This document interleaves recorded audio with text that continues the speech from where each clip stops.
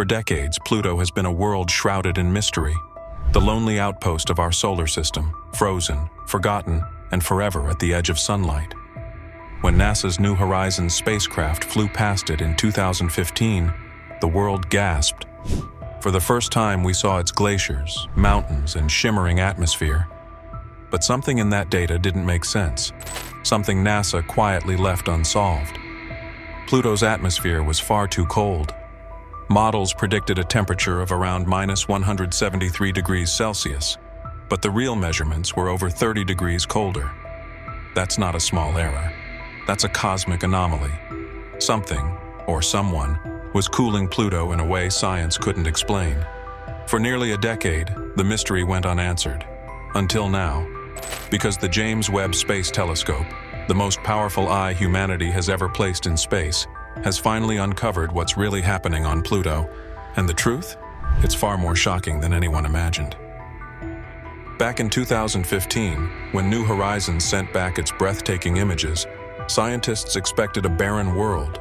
Instead, they found towering mountains made of water ice and smooth plains of frozen nitrogen stretching for hundreds of kilometers.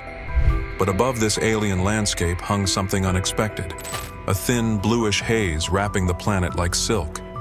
It wasn't dense, but it reached nearly 300 kilometers high, far taller than anyone thought possible for such a small world. It shimmered under sunlight, layering itself into delicate, glowing bands. But the most baffling part was not its beauty, it was its temperature. The atmosphere was freezing far beyond what nitrogen and methane alone could account for. For years, scientists ran models, recalibrated sensors, and rechecked data from every angle, but the math refused to work. The energy didn't add up.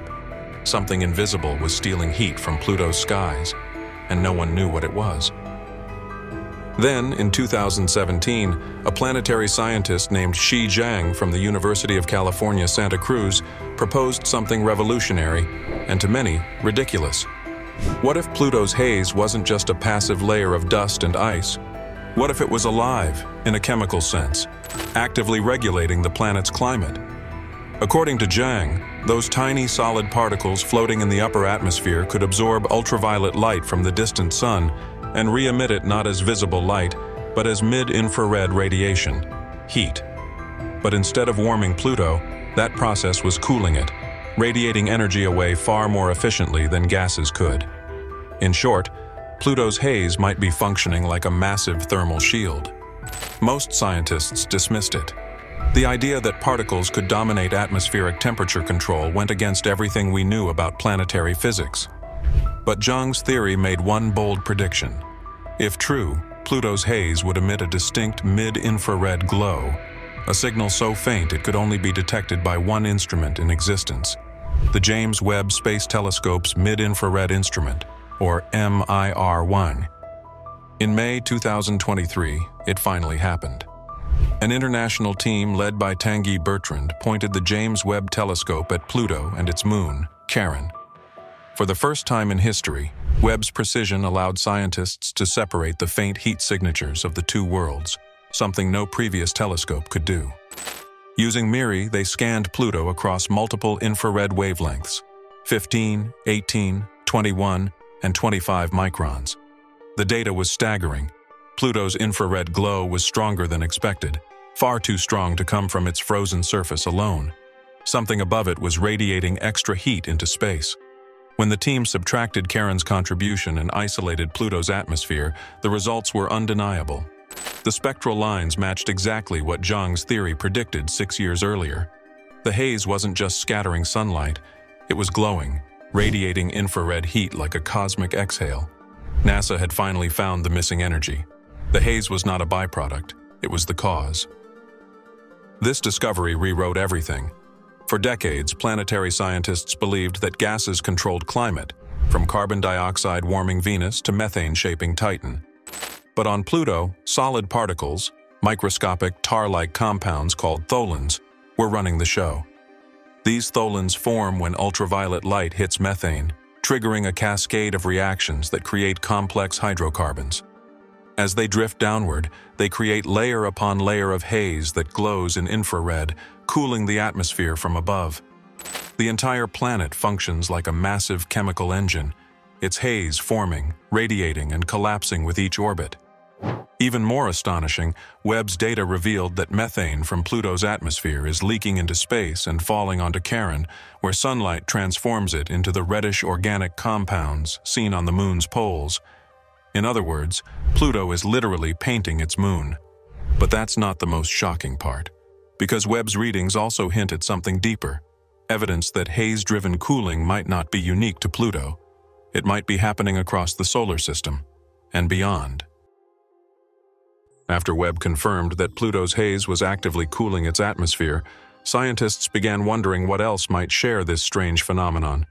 The first suspect was Titan, Saturn's largest moon, a world already famous for its thick orange haze and methane-rich skies. Webb turned its gaze toward Titan's limb, and what it found was eerily familiar. The same infrared wavelengths seen in Pluto's glow appeared again, but stronger. Titan, too, seemed to be radiating away its energy in mid-infrared waves, almost as if its atmosphere was alive, breathing heat out into space. The spectral pattern was so similar that researchers began calling Titan and Pluto mirror worlds. Both were frozen, both wrapped in haze, and both governed by a chemistry that seemed less planetary and more organic. Even Neptune's moon Triton, once thought to be geologically dead, began showing faint atmospheric heat signatures in Webb's data, hinting that its own nitrogen haze might operate under the same principle. The realization was staggering.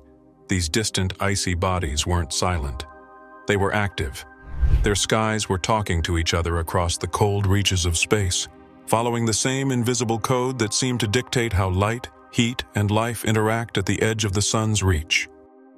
The compounds driving this cosmic cooling, tholins, turned out to be far more complex than anyone imagined. Under Webb's spectroscopy, the chemical signatures revealed dozens of hydrocarbon chains, some containing nitrogen and oxygen bonds, the same foundational elements found in amino acids.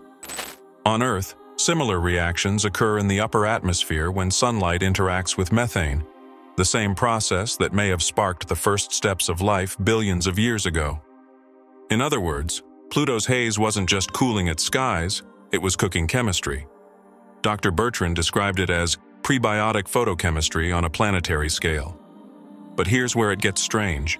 When Webb analyzed how these molecules formed and reformed, it detected a rhythmic cycle, a repeating pattern in how tholins absorb and emit infrared light. The interval between emissions matched Pluto's 6.4-day rotation period almost perfectly.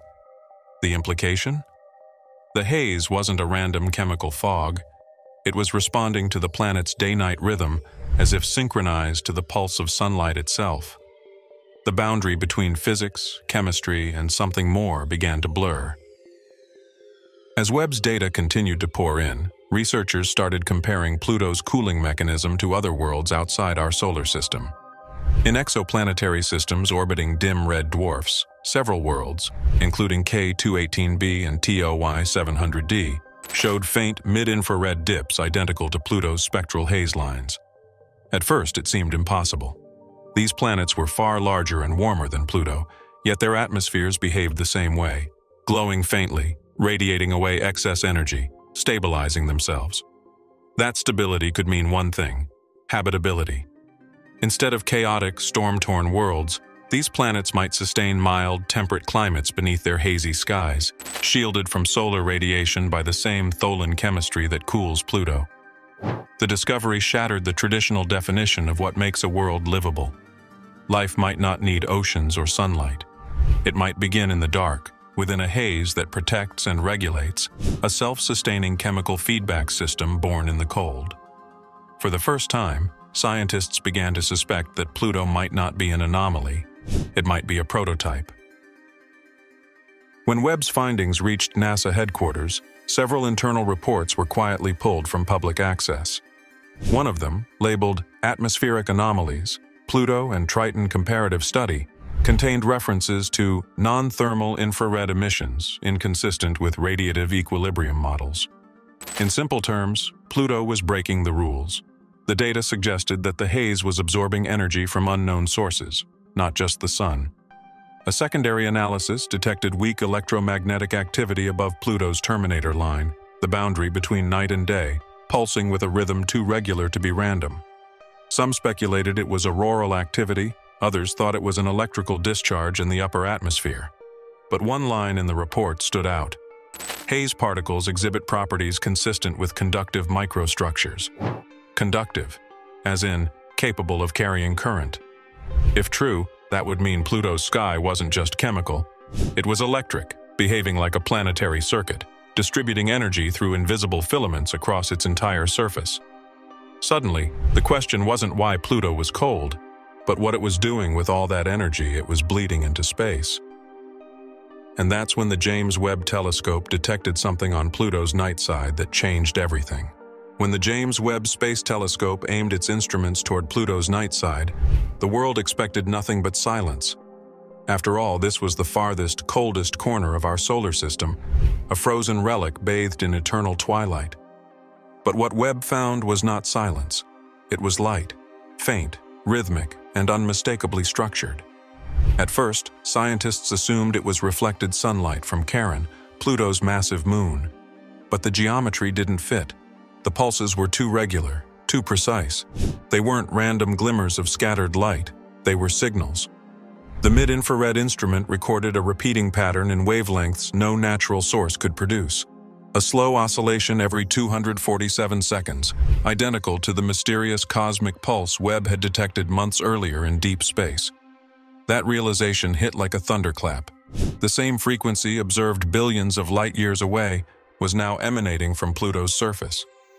To confirm the finding, NASA ran a spectral decomposition of the emission. What they uncovered made the room fall silent. The pattern wasn't continuous, it was encoded.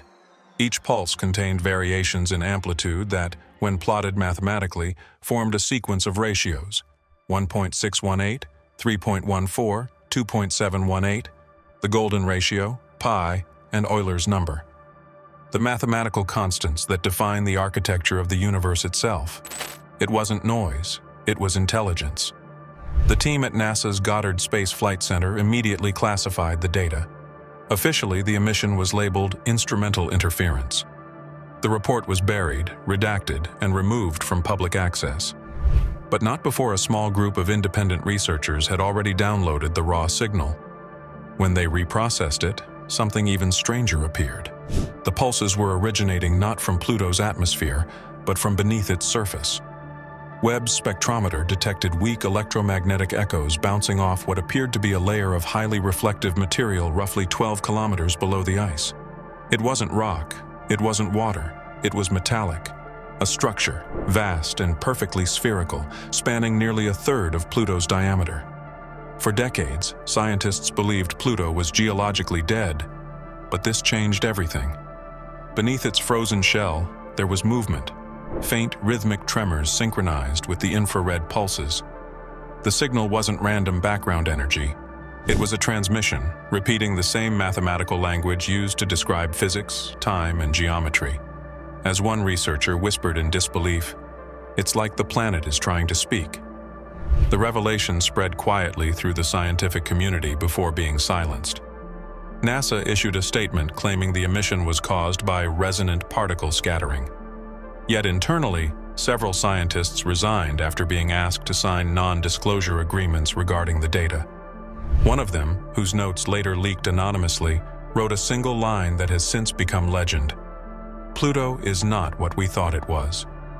It's something built. Since then, the faint pulsing signal continues to echo through the void, sometimes growing stronger, sometimes fading, as if responding to observation itself. Webb's instruments still detected on occasion, buried beneath cosmic noise, waiting to be noticed again. And with every repetition, the same mathematical sequence plays out, the same silent language written into the heart of reality. The question now is no longer what Pluto is, but who placed it there. So if this story made you question what NASA truly knows about the outer solar system, don't look away. Subscribe to this channel we uncover the discoveries they don't want you to see. Turn on notifications because the next time James Webb looks back at Pluto's frozen heart, the universe might just answer,